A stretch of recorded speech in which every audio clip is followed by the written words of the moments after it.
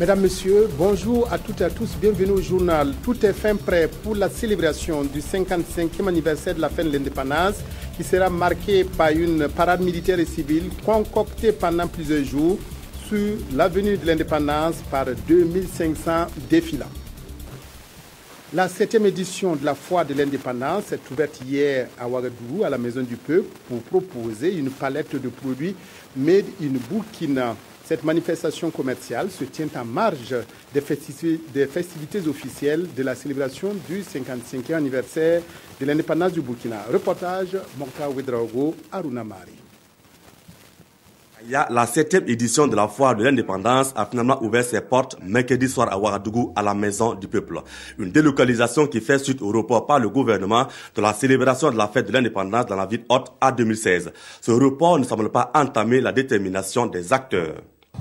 Oui, on peut dire qu'il y a de l'engouement, il y a même de la satisfaction de notre part, parce que à quelques trois semaines ou un mois du report de Kaya, si quand même les partenaires et les exposants ont accepté suivre la foire à Ouagadougou, je pense qu'il y a motif de satisfaction. on ne peut plus imaginer quand même une fête nationale sans la dimension festive, voilà, d'où quand même une foire multisectorielle voilà, qui met en avant quand même les, les produits made in Burkina. Ce rendez-vous annuel est devenu une plateforme de promotion et d'exposition-vente de produits de différentes régions.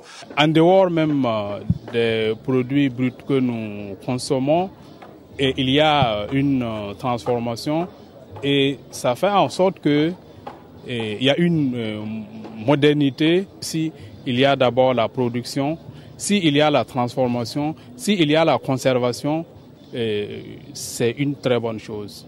Au menu de cette édition, un dîner gala, un concours d'art culinaire et un défilé de mode. Les exposants espèrent faire de bonnes affaires en cette fin d'année à la faveur de la foire de l'indépendance. La célébration du 11 décembre aura lieu à travers plusieurs activités, au premier rang desquelles le défilé sur l'avenue de l'indépendance, dont les répétitions ont mobilisé pendant trois jours des milliers de personnes. Ce sont environ 2500 défilants, civils et militaires, qui ont inlassablement répété pendant ces 72 heures. Relwende Céline Ilboudo.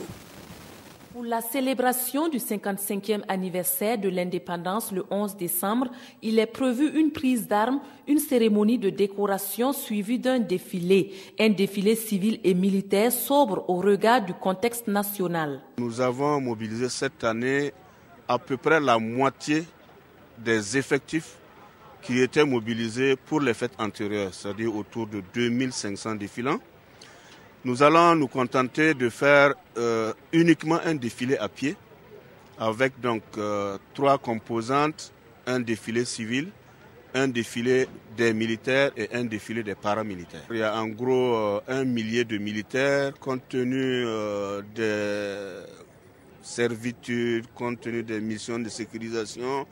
Nous avons concentré nos efforts sur les écoles de formation des forces armées nationales. À l'issue de trois jours de répétition, les élèves se disent prêts pour le défilé.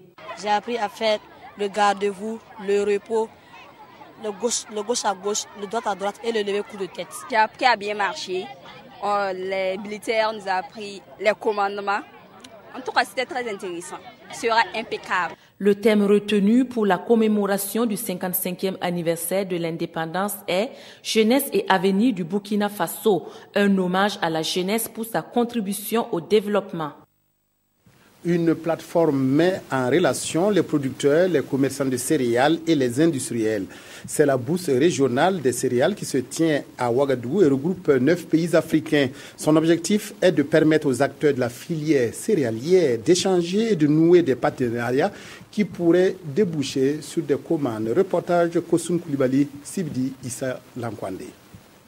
Pour la deuxième fois cette année, producteurs, transformateurs et commerçants de neuf pays de la sous-région ouest africaine se retrouvent à Ouagadougou pour la bourse régionale des céréales.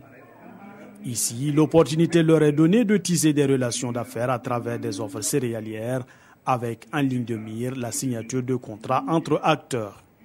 L'initiative est soutenue par l'USAID à travers le projet Trade Hub. On a demandé à la représentante de tout le maillon de chaîne de valeur venir pour négocier et voir si on peut formaliser d'une façon explicite la transaction, c'est-à-dire la commerce de la de céréales. L'idée est de permettre à ces acteurs du monde agricole de développer des liens commerciaux pour une meilleure valorisation des produits céréaliers. Lorsque nous parlons des marchés agricoles, euh, cela entend les céréales et tous les autres produits agricoles, il y a ce qu'on appelle des distorsions. Ces marchés-là ont euh, des difficultés pour bien fonctionner. En amenant les commerçants, les producteurs, ils se rencontrent et chacun montre ce qu'il a et on peut s'organiser pour les achats. À cette deuxième session de la Bourse régionale des céréales, 78 participants ont répondu à l'invitation et pendant deux jours, ils vont mettre sur la table leurs offres avec pour ambition la conclusion de ventes négociées.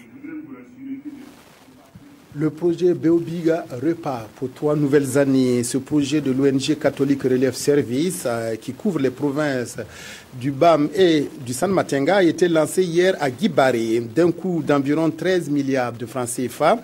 Le projet est financé par le département de l'agriculture des États-Unis. Son objectif, améliorer le savoir lire et écrire des enfants et pas seulement. Ibrahim Sombier, Nyarkiteda. Améliorer le savoir lire et écrire des élèves, c'est la quintessence du projet Biga, Enfants de demain, phase 2. Pour y arriver, la phase mobilise environ 13 milliards de francs CFA. C'est un don du département de l'agriculture des États-Unis. Avec ces ressources, l'ONG catholique Relief Service va mener des activités pour offrir le bonheur à 180 000 élèves du primaire et des Bisongo, du BAM et du San Mantenga non seulement nous avions la cantine scolaire, non seulement nous avions la santé nutrition, mais nous avons également des programmes d'implication de la communauté dans l'école. Et c'est ainsi que nous avons par exemple des femmes euh, mentors, comme on le dit, qui encadrent les filles pour les permettre vraiment de ne pas abandonner l'école et de pouvoir réussir à l'école. Nous avons également des communautés d'épargne de crédit. La deuxième phase est le fruit des acquis de la première qui a permis de booster l'enseignement par la réduction du taux de déperdition scolaire en assurant un minimum pour les familles et les écoles des localités bénéficiaires. Je suis très content des résultats, des résultats atteints et, je suis, surtout de voir les bénéficiaires eux-mêmes nous expliquer ce qu'ils sont, ce qu'ils sont en train de faire. Une dynamique saluée par les responsables au niveau local et qui réconforte l'ONG CRS et ses partenaires à s'engager à faire de la deuxième phase une phase qui allie éducation et alimentation pour garantir un avenir radieux des enfants. Les lauréats des meilleurs projets de communes et d'organisations de la société civile ont reçu hier leur prix, prix remis par le projet Fonds Enfants. Il vise à cultiver l'excellence dans la réalisation et la gestion des projets porteurs dans la lutte contre la traite et autres pires formes de travail des enfants. Nongoba Kuda Kadi Sanogo. Cette cérémonie de remise des prix aux lauréats des meilleurs projets des communes et d'organisations de la société civile, partenaires du Fonds Enfants, a concerné neuf projets. Ces prix ont été décernés à trois régions du Burkina, notamment l'Est, le Centre-Est et le Sud-Ouest. Ils visent à cultiver l'excellence dans la réalisation et la gestion des projets porteurs pour la lutte contre la traite et les autres pires formes de travail des enfants. Euh, ce sont des sentiments euh, de vive joie euh, qui m'animent ce, soir, après avoir reçu ce premier prix.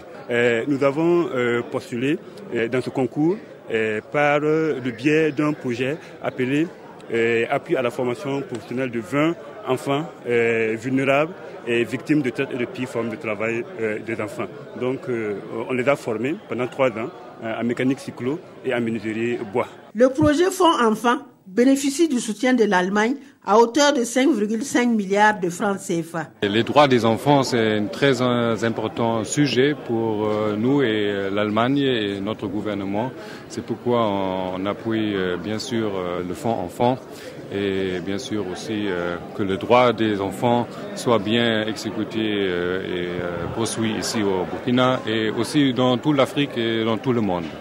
Ces prix vont permettre aux lauréats de redoubler leurs engagements pour mettre fin à ces atteintes graves aux droits des enfants.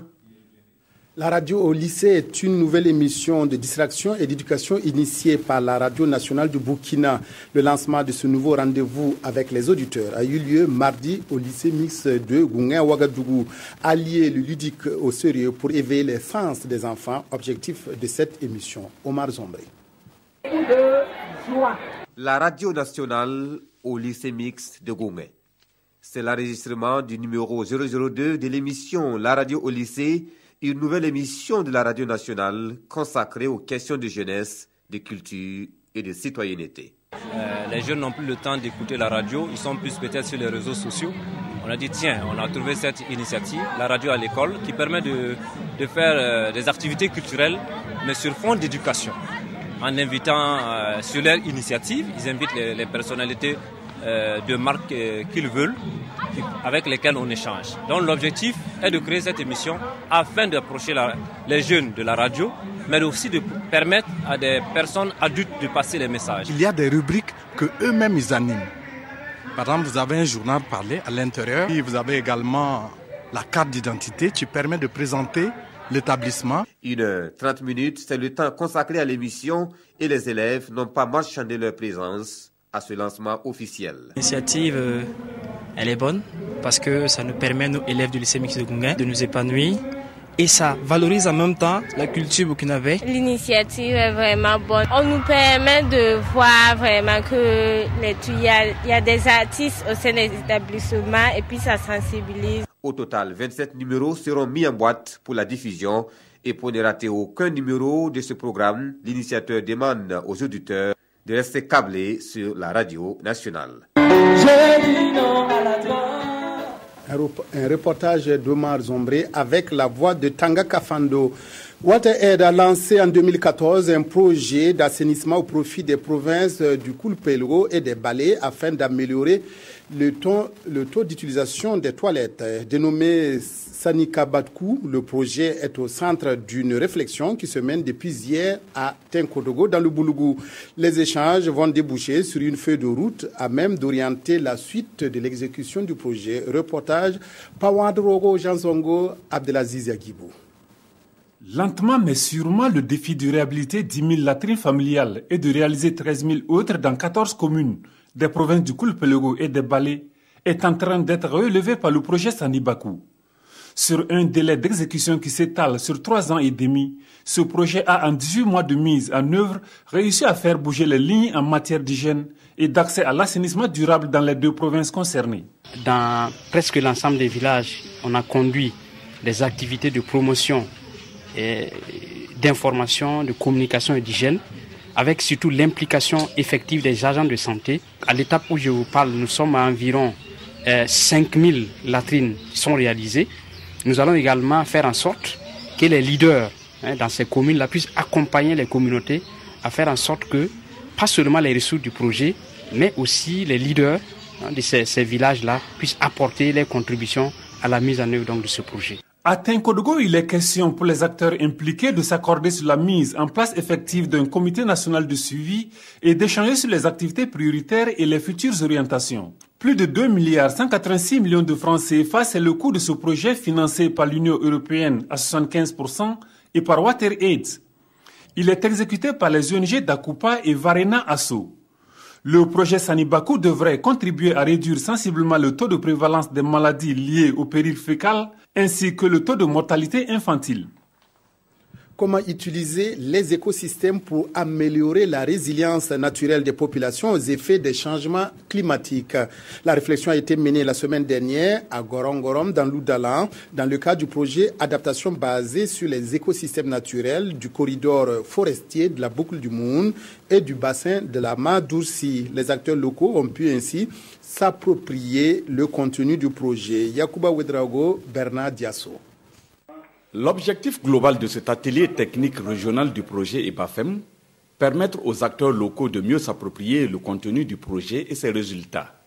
Un projet selon lequel la question des changements climatiques doit être examinée à travers tout l'ensemble des problématiques relatives à la conservation et à l'utilisation durable des écosystèmes et de leurs ressources. Le projet va travailler autour de trois composantes. La composante 1, il s'agit de comprendre comment interviennent ces changements climatiques, l'impact de ces changements climatiques sur nos écosystèmes. La composante 2 du projet, en fait, ça, ce sont des actions de démonstration. C'est-à-dire qu'avant les changements climatiques, il y avait la désertification.